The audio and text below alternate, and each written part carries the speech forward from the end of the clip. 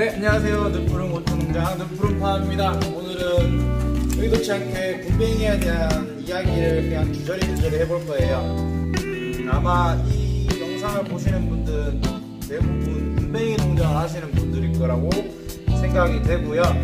군뱅이 사업을 시작하시려고 하시는 분들도 아마 보실 것 같다고 생각이 돼요.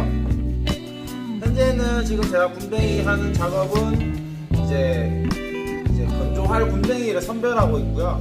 어, 저 같은 경우에는 군뱅이 사업을 한 지 이제 2년 차가 되었고 아직은 아기입니다. 아기. 네, 아기인데 음, 그래도 혼자 나름 연구도 많이 하고 제품 이제 청결하고 이제 합법적으로 이제 만들어내려고 가공 시설도 이제 12평 이제 내일부터 이제 관리 들어가고요. 어, 군뱅이 사육은 현재는 어제도 그 제가 창, 청년 창업농 교육을 갔었어요. 갔는데 한 분이 군뱅이 농장을 하시고 계시더라고요.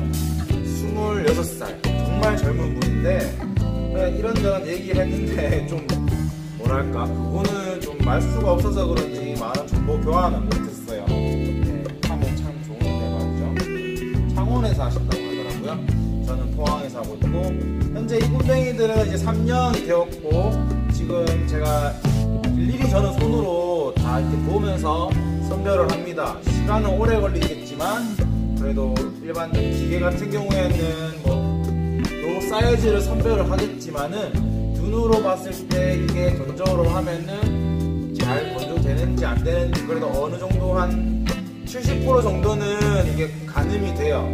가늠이 되어서 시간이 올리겠지만 뭐 노래 틀어가지고 선별을 작업을 합니다.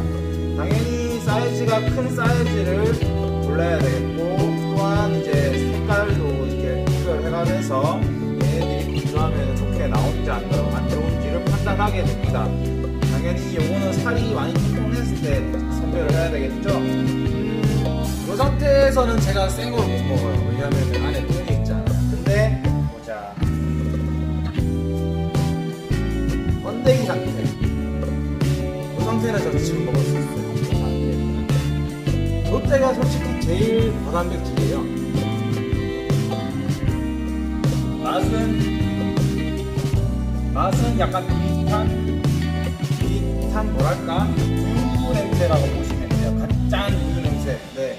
그렇고 이제 번데기 되기 전 상태가 있어요. 안에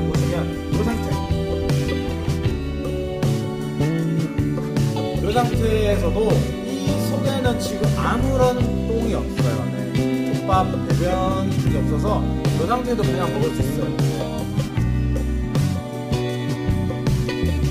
아까 그 번데기 상태보다는 지금 이 상태가 훨씬 더 맛있습니다. 최대한 이 맛을 이 누린내 없는 맛을 찾기 위해서 이제 사육을 하고 그 다음에 이렇게 선별을 하고 절식을 하는 게 가장 중요한 상황이죠. 가장 중요한 작업이고 그 다음에 이제 데침 과정, 그 다음에 건조 과정이 중요해요. 저도 당연히 아직까지는 연구 중이고요. 음, 거기에 대해서 노하우는 더 이상은 말씀 못 해드립니다. 네. 일단은 그렇고 저희 고양이도 군뱅이를 먹어요. 먹는데 볼까요? 보이시죠? 고양이가 원래 들어오면 안 되는데 제가 문 열어놓고 촬영하고 있어서 홍아 일로 와봐 이거 먹어 이게 뭐랄까 입맛이 까다로운 고양이도 지금 이 상태의 군뱅이나 절식한 상태의 군뱅이를 주면 굉장히 잘 먹어요 다 먹었어? 지금 개가 짖어가지고 애가 지금 많이 날카롭네요 이 상태가 그러니까 정말로 맛있는 상태예요. 생으로 먹었을 때. 네. 당연히 근데 절식을 하고도 이제 먹으면은 요런 맛이 나야 돼요. 여러분들은 안 드시겠지만은 저는 뭐 이래저래 연구를 하면서 다 먹어봤죠. 네. 그리고 되도록이면은 똥에 있는 상태 그 한 번씩 선별하다 보면은 배 부분이 꽉 똥으로 차 있는 경우가 있어요. 딱딱하게. 네, 그거 그런 경우에는 어떤 거냐면 음 병이 걸렸을 수도 있고요. 배부른병이라고 그냥 제가 명칭하는 건데 배부른병일 수도 있고 아니면은 얘네들이 이제 번데기 되기 전 상황에 뱃속에 이제 자기들이 이제 코쿤을 만들 이 코콘을 만들 걸 뱃속에 저장을 하고 있는 거예요. 그 두 가지라 보시면 되고 그 두 가지 상태일 때에는 당연히 건조를 하면 안 되죠. 그래서 제가 그걸 판단하기 위해서 이렇게 하나하나씩 선별하고 있고요. 당연히 지금 촬영 중이다 보니까 천천히 하고 있고요. 네. 음, 현재는 이제 군뱅이 사업을 하시려면은 저는 그렇게 하지 않으시길 저는 권장해 드립니다. 네. 한 이제 군뱅이 농장들이 서로 서로 경쟁도 하면서 그 소비자들도 이거를 요구하는 소비자들도 굉장히 적단 말이에요. 그러다 보니까 자기들이 어떻게 이제 판매를 하냐, 마케팅, 홍보를 하냐가 중요한데 이게 이제 나이가 연세가 있으신 분들, 은퇴하시고 하시는 분들은 그게 좀 어렵습니다. 당연히 인맥으로서는 당연히 엄청나게 많으시겠죠. 근데 인맥 장, 인맥으로 하셔도 능력이 되시면은 인맥 장사 하셔도 됩니다. 근데 저 같은 경우에는 인맥이 워낙 적다 보니까 무조건 온라인, 온라인으로만 홍보를 하고요. 아직까지는 박람회 그런 데는 아직 갈 상황이 아니다 보니까 그냥 저는 무조건 온라인으로만 홍보를 하고 있습니다. 네.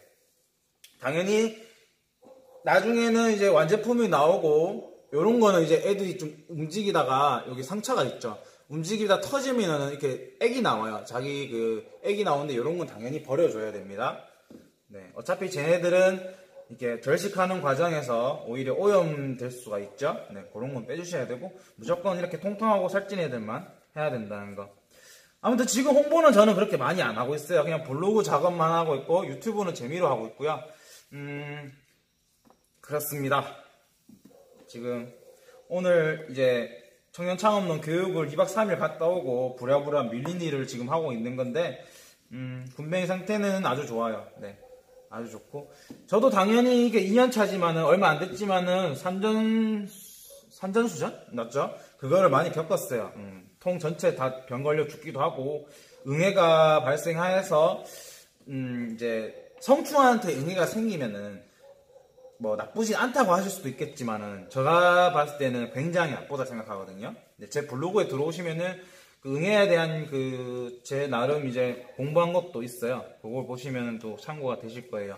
일단 성충한테 응애가 붙게 되면은 음 일단은 스트레스를 받아요. 네. 뭐 상관없다 하시는 분들이 있는데 응애가 몸에 붙는 응애가 있어요. 네. 히포피 응애라는 것도 있고 이제 활동성을 하, 활동을 하는 응애도 있는데 그게 몸에 붙거든요. 그러면은 그 흰전바의 꽃무지 성충을 보면 이렇게 막 닦아내는 걸 볼 수 있어요. 자기들이 뭐 간지러워서 그런지 불편해서 그런지 닦아내는 거를 볼수 있고 스트레스를 받는다는 거거든요. 자기 딴에는 불편하다는 거거든요. 그래서 수명이 줄어들 수 있고 그 다음에 산란율이 줄어들 수 있습니다. 네, 당연히 활동성도 줄어들고요. 네.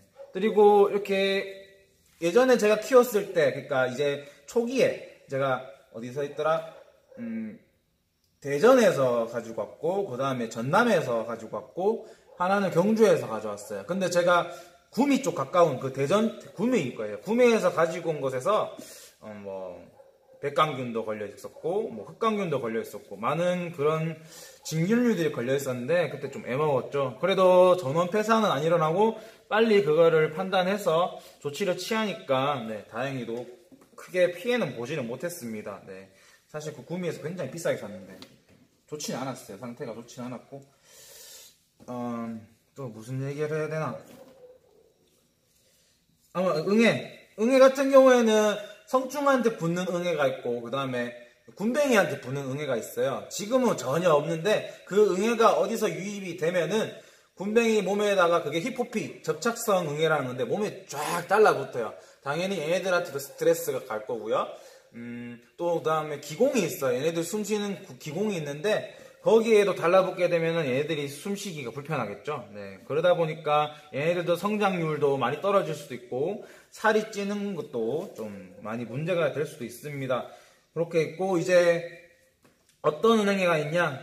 또 마지막 응애는 이제 여러분들이 뭐 과일을 주거나 젤리를 주거나 할 경우에 그러 거기에 붙는 흰, 흰 응애가 있어요. 흰색 응애가 있고 어, 활동성은 꽤나 떨어지지만은 이제 뭐랄까 번식력은 굉장히 강해요. 그게 금방 번지거든요. 그거 하나 제가 팁을 하나 드릴게요.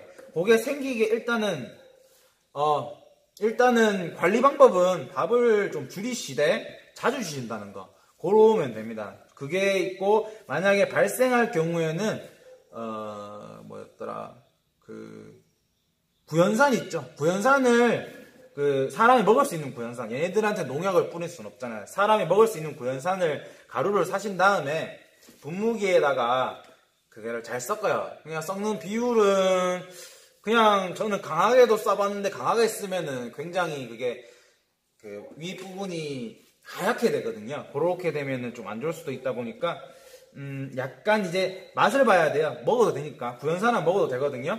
혀 맛을 보고 약간 시큼하다, 어, 시큼하다 할 정도. 음, 그 정도면은 이게 응애들한테 이게 뿌리잖아요. 그러면 좀 없어집니다. 다만 그 흰 점박이 흰 점박이란다. 그 흰 응애한테만 해당이 되는 거고요. 다른 응애들은 해당이 안 됩니다. 음. 지금은 저도 응애가 거의 거의 없어요. 뭐 퍼센테이지를 따지자면은 한 3%? 그 정도 있다고 보시면 되고요. 크게 이렇게 문제가 되진 않습니다. 흰 응애 같은 경우에는 그 유기물을 먹는 응애인데 만약에 걔네들이 많이 있는 다음에 이 군뱅이들이 코콘을 틀 때 있죠. 코콘을 틀 때 걔네들이 안에 들어가게 되면 먹을 게 없잖아요. 그러다 보니까 이렇게 연약한 연약한 이 요 상태에 애들이 공격을 합니다. 공격을 해서 이 코쿤은 이 번데기는 우화를 못하게 돼요. 네, 결국엔 죽는다는 거죠.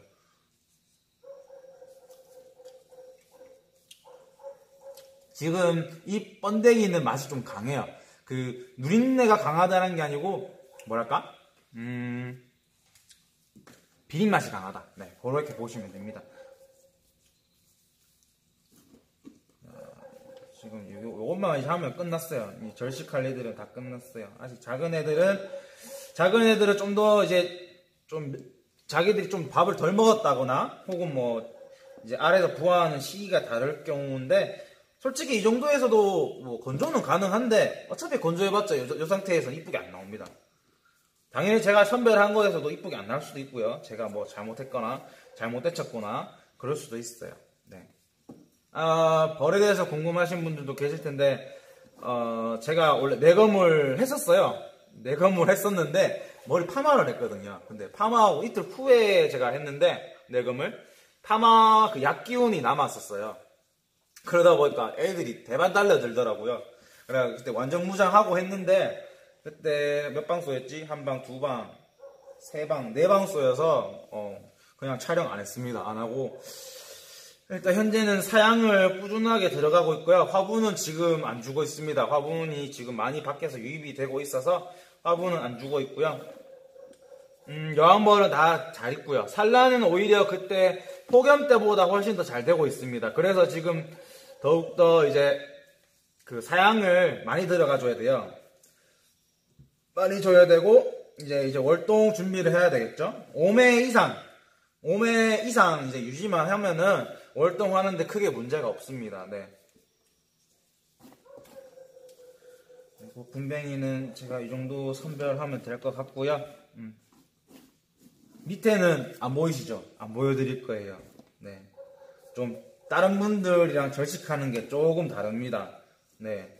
저는 그냥 하나 팁. 스트레스를 주지 말자. 예. 뭐든지 스트레스를 주지 말자. 네.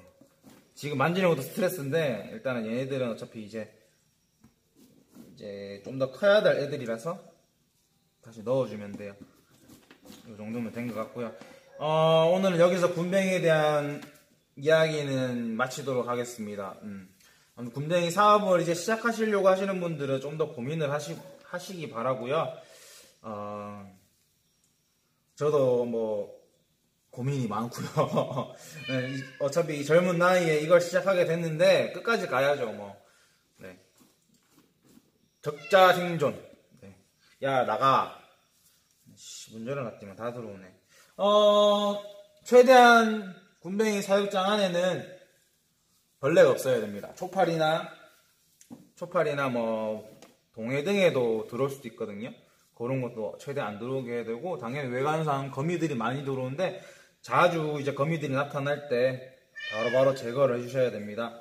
나가 자 여기서 영상 마치겠고요. 이만 다음에 또 뵙도록 하겠습니다. 감사합니다.